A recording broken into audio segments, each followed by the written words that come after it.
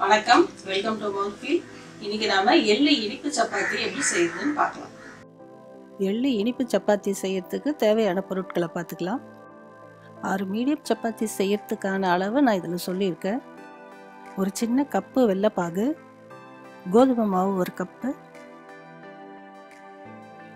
தேங்காய் துருவல் ரெண்டு டீஸ்பூன் எள்ளு ஒரு டீஸ்பூன் மாவு பிசையறதுக்கு தண்ணி தேவையான அளவு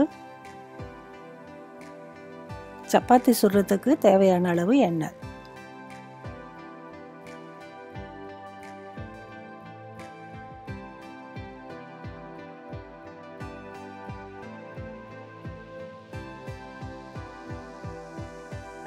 முதல்ல ஒரு பாத்திரத்தில் கோதுமை மாவு எள்ளு தேங்காய் துரல் போட்டு நல்லா கலந்துக்கலாம்.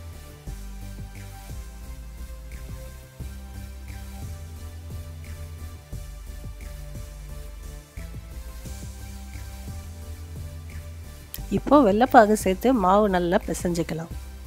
வெள்ளைப்பாகு எப்படி செய்கிறதுன்னு நான் ஏற்கனவே ஒரு வீடியோ போட்டிருக்கேன்.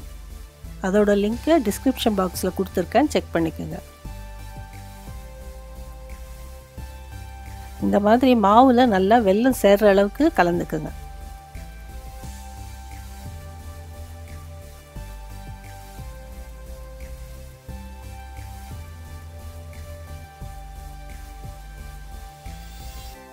இதில் நான் கொஞ்சமாக தண்ணி சேர்த்துருக்கேன். உங்களுக்கு வேணும்னா வெள்ளைப்பாக கூட மறுபடியும் சேர்த்து கலந்துக்கலாம்.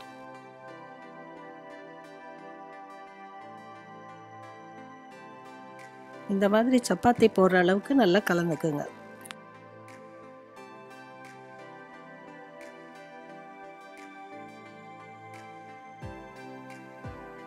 இப்போ மாவை சின்ன சின்ன உருண்டையாக எடுத்து திரட்டிக்கலாம்.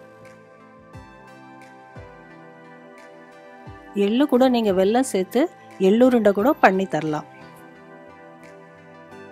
குழந்தைங்க சாப்பிட்லன்ற கவலை எல்லாம் வேண்டாம். இந்த மாதிரி விதவிதமாக செஞ்சு கொடுத்தீங்கன்னா ரொம்ப நல்லா சாப்பிடுவாங்க.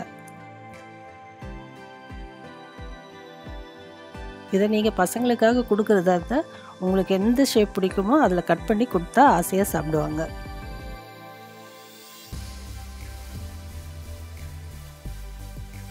இப்போ தவாவை காய வச்சு நம்ம சப்பாத்தியை சுட்டு எடுத்துக்கலாம். இது இனிப்பு சப்பாத்தின்றதுனால ரெண்டு பக்கமும் கொஞ்சம் நல்லா எண்ணெய் ஊற்றி சுட்டு எடுத்திங்கன்னா நல்லா டேஸ்ட்டாக இருக்கும். இதில் எண்ணெய்க்கு பதிலாக நெய் கூட யூஸ் பண்ணிக்கலாம். எள் ஜீரணத்துக்கும் எலும்பு வளர்ச்சிக்கும் நல்லா ஹெல்ப் பண்ணும். சூப்பரான எள் இனிப்பு சப்பாத்தி இப்போது ரெடி ஆயிடுச்சு. இந்த வீடியோ உங்களுக்கு பிடிச்சிருந்தா மவுத்ஃபீலுக்கு சப்ஸ்கிரைப் பண்ணுங்க. நன்றி வணக்கம். பெல் ஐக்கான் ப்ரெஸ் பண்ண மறக்காதீங்க. அப்போ தான் புதுசாக அப்லோட் பண்ணுற வீடியோஸோட நோட்டிஃபிகேஷன் உங்களுக்கு வந்து சேரும்.